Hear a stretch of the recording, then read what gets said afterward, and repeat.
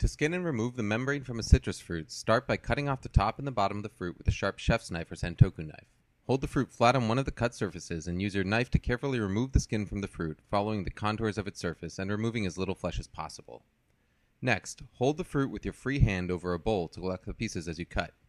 Make a single incision along one side of the membrane separating the segments, cutting as close as possible to the membrane. Make a similar cut on the opposite side of the segment to release the segment from the core without any membrane attached. The membrane is flavorless and has an unpleasant papery texture. Some people might find this easier with a paring knife.